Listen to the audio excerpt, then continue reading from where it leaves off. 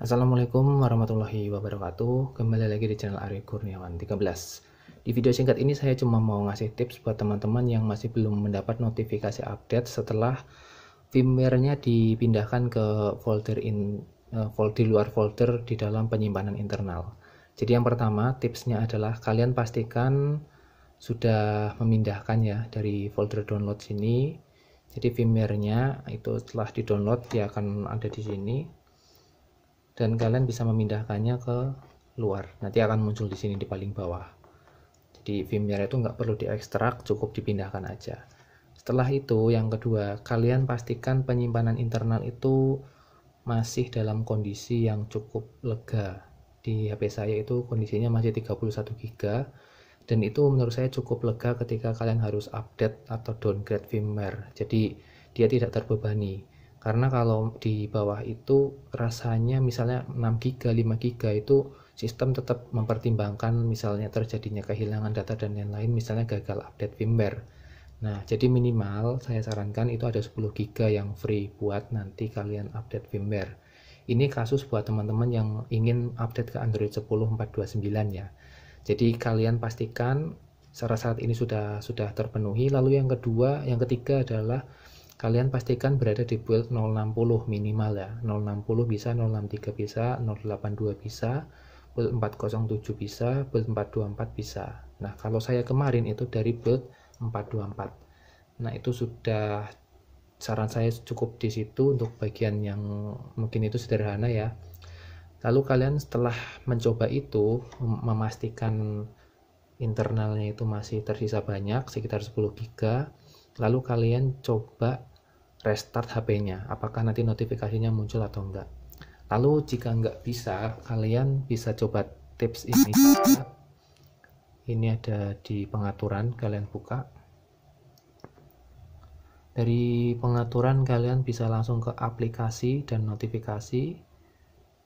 Lalu lihat semua dari 8 lihat semua aplikasi ya. Lalu pilih di sini di atas ini tampilkan sistem kalian cari FOTA service. Ya intinya kita akan hapus cache nih FOTA service. Pilih, pilih penyimpanan dan cache kalian lalu klik hapus cache bukan yang hapus penyimpanan ya. Setelah itu kalian bisa langsung restart HP-nya dan coba lagi tunggu apakah ada notif update atau enggak. Kalian tunggu aja sabar karena biasanya agak lama juga pun kemarin waktu saya coba restart itu dengan tanpa trik seperti ini itu agak sedikit lama tapi tiba-tiba langsung nongol di sini sih. Setelah itu kalau memang tetap nggak bisa cara terakhir adalah melalui menu recovery. Menu recovery itu caranya kalian langsung matikan HP-nya aja. Ini udah tahu sih tapi hmm. pertama siapkan SD card dulu kalian pindahkan firmware-nya ke SD card. Lalu setelah itu kalian tekan tombol power dan tombol volume down secara bersamaan sampai nanti muncul logo Asus. Nah setelah itu lepas. Tunggu aja.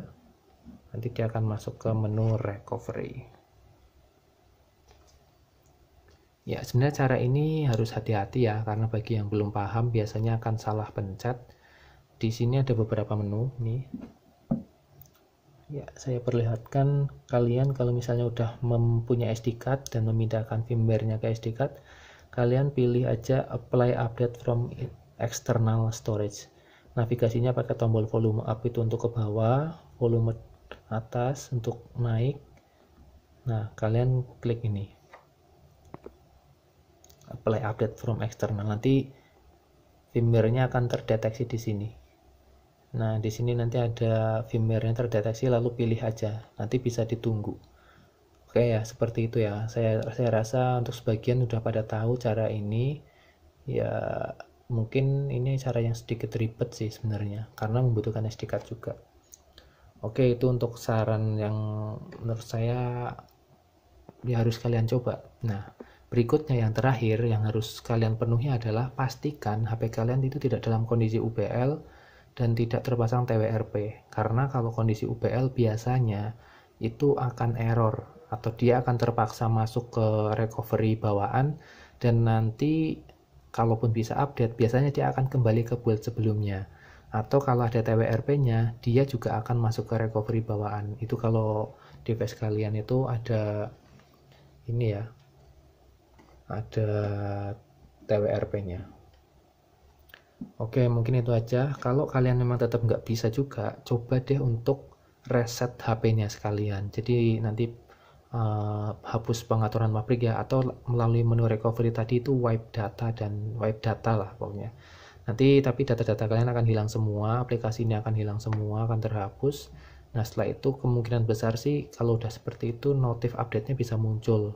Yaitu dengan cara yang pertama tadi melalui update manual yang firmware-nya ada di dalam internal storage sini ya ini intinya dicoba-coba semua kemungkinan yang ada. Kalau kalian pengen banget update ke Android 10 build 424 itu tips dari saya. Kalau memang belum bisa saya nggak tahu lagi uh, maksudnya solusinya bagaimana. Karena kemungkinan besar masing-masing dari kalian tuh menggunakan HP-nya dengan berbeda-beda perlakuannya berbeda sehingga ada beberapa hal yang menghalangi akan update software atau update firmware build 424 itu saran saya. Terima kasih sudah menonton. Wassalamualaikum warahmatullahi wabarakatuh